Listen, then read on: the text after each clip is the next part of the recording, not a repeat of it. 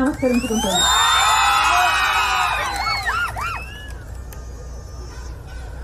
నా రాష్ట్రంలో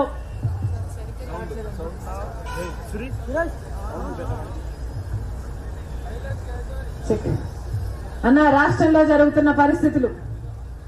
పది సంవత్సరాలుగా అందరం చూస్తున్నాం. పది సంవత్సరాలు అయింది మన రాష్ట్రం ఏర్పడి. కానీ ఈ రోజు వరకు కూడా ప్రత్యేక హోదా రాలేదు. కారణం? బీజేపీ పార్టీ పది సంవత్సరాలుగా కేంద్రంలో అధికారంలో ఉండి కూడా మనకు కనీస హక్కు ప్రత్యేక హోదా అన్నది. మన బిడ్డలకు ఊపిరి లాంటిది. మన రాష్ట్రానికి ఊపిరి లాంటిది ప్రత్యేక హోదా. ప్రత్యేక హోదా వస్తే ఒక్కొక్క నియోజకవర్గంలో యాభై నుంచి వంద కొత్త పరిశ్రమలు వస్తాయి. ఎంత అభివృద్ధి జరుగుతుంది? మన బిడ్డలకు ఎన్ని ఉద్యోగాలు వస్తాయి? కానీ పది సంవత్సరాలుగా బీజేపీ పార్టీ మనకి ఇవ్వాల్సిన ప్రత్యేక హోదాను ఇవ్వలేదు. ఇవ్వకపోతే ఒక పక్క చంద్రబాబు గారు ఇంకో పక్క జగన్మోహన్ రెడ్డి గారు. ఏ ఒక్కరు మోడీని నిలదీసిన పాపాన పోలేదు. అధికారంలో ఉండి ముఖ్యమంత్రులుగా ఉండి మొదటి ఐదు సంవత్సరాలు చంద్రబాబు గారు ముఖ్యమంత్రిగా ఉన్నారు. ఇప్పుడు ఐదు సంవత్సరాలు జగన్మోహన్ రెడ్డి గారు ముఖ్యమంత్రిగా ఉన్నారు. ముఖ్యమంత్రి హోదాలలో ఏ ఒక్కరు కూడా ప్రత్యేక హోదా కోసం ఒక్క నిజమైన ఉద్యమం కూడా చేయలేదు. ఏ బీజేపీ పార్టీ అయితే మనకు ప్రత్యేక హోదా ఇవ్వలేదో పోలవరం ప్రాజెక్ట్ ఇవ్వలేదో రాజధాని ఇవ్వలేదో కడప స్టీల్ ఫ్యాక్టరీకి ఇవ్వలేదో అదే బీజేపీ పార్టీని పట్టుకొని వేలాడుతున్నారు చంద్రబాబు గారైనా జగన్మోహన్ రెడ్డి గారైనా. ఎందుకు అని అడుగుతున్నాం. బీజేపీ పార్టీ మనకి ఏం మేలు చేసిందని.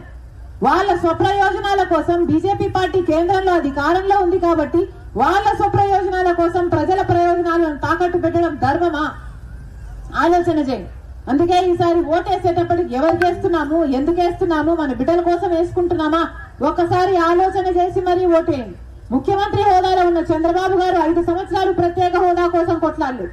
ముఖ్యమంత్రిలో ఉన్న జగన్మోహన్ రెడ్డి గారు ప్రత్యేక హోదా కోసం ఐదు సంవత్సరాలు కొట్లాడలేదు. రాజశేఖర రెడ్డి గారు ఎప్పుడో తలపెట్టారన్నా కడప స్టీల్ ఫ్యాక్టరీ. మన జిల్లాలో కడప స్టీల్ ఫ్యాక్టరీ రావాల్సింది. రాజశేఖర రెడ్డి గారు ఉండుంటే అది ఎప్పుడో పూర్తయిపోదు.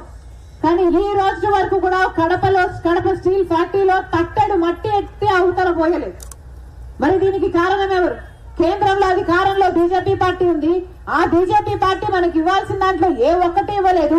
అయినా కూడా అదే బీజేపీ పార్టీకి తొత్తులుగా పొత్తులు పెట్టుకొని వ్యవహరిస్తున్నారు చంద్రబాబు గారైనా జగన్మోహన్ రెడ్డి గారైనా.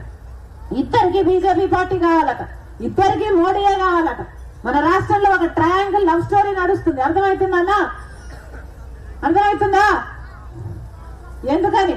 బీజేపీ పార్టీ మనకి ఏం చేసిందని? పోయి ఇంతమంది బిడ్డలు ఉన్నారు ఇక్కడ. కనీసం మాకు ఇది ఒక రాజధాని ఉంది అని చెప్పుకునేటట్టుందా? ఏమన్నా ఒక రాజధాని ఉందా మనకు? పది సంవత్సరాలు అయిందన్న రాష్ట్రం ఏర్పడి ఈ రోజు వరకు ఒక్క రాజధాని కూడా లేకపోయి. ఏమన్నారు? చంద్రబాబు గారేమో అమరావతి అన్నారు. సింగపూర్ను తలపిస్తానన్నాడు. అమరావతిని కాస్త భ్రమరావతిని చేశాడు. ఒక్క పర్మనెంట్ బిల్డింగ్ కూడా కట్టలేదు. జగన్మోహన్ రెడ్డి గారేమో మూడు రాజధానులు కడతానన్నాడు మూడు రాజధానిలో కనీసం ఒకటైనా అయిందంటే ఒకటి కూడా కాలేదు. అందరికి అన్ని ఉన్నాయన్నా. బెంగళూరు ఉంది చెన్నై ఉంది హైదరాబాద్ ఉంది మనకేముందన్నా? మనకు చేతిలో చిప్ ఉందన్నా. మనకు సింగపూర్ లేదు వాషింగ్టన్ లేదు న్యూఢిల్లీ లేదు. మనకు చేతిలో ఉన్నది చిప్ప నెత్తి మీద కూర్చు టోపీ ఉంది. అదే ఉంది. పది సంవత్సరాలైంది. మన బిడ్డలు ఉద్యోగాల కోసం ఎక్కడికి పోవాలి? పది సంవత్సరాలైంది. పది సంవత్సరాలలో కనీసం పట్టుమని కొత్త పది పరిశ్రమలైనా వచ్చాయా? మరి రాకపోతే మన బిడ్డలకు ఉద్యోగాలు ఎక్కడి నుంచి వస్తాయి? ఉద్యోగాలు ఎక్కడ చేసుకోవాలి? చిన్న చిన్న ఉద్యోగాలు చేసుకుంటున్నారు ఈ రోజు ఎనిమిది వేలకు పదివేలకు చిన్న చిన్న ఉద్యోగాలు చేసుకుంటున్నారు. ఆఖరికి ఎలా తయారవుతుందంటే మన రాష్ట్రంలో అసలు ఉద్యోగాలే దొరకక మన బిడ్డలంతా వలసపోతే మన రాష్ట్రంలో అసలు యువతే లేని రాష్ట్రంగా తయారవుతుంది. ఇదేనా కావాల్సింది మనకు? అందుకే ఓటేసేటప్పుడు ఒక్కసారి ఆలోచన చేయండి. రాజశేఖర రెడ్డి గారి కొడుకు జగన్మోహన్ రెడ్డి గారు. రైతులు ఎంత బ్రహ్మాండంగా చూసుకున్నాడు రాజశేఖర రెడ్డి గారు. మరి జగన్మోహన్ రెడ్డి గారు ఏం చేశారు? కనీసం డ్రిప్ మీద సబ్సిడీ ఉందా? రాజశేఖర రెడ్డి గారు రుణమాఫీ చేశాడు. రాజశేఖర రెడ్డి గారు ఇన్పుట్ రాష్ట్రంగా తయారవుతుంది. ఇదేనా కావాల్సింది మనకు?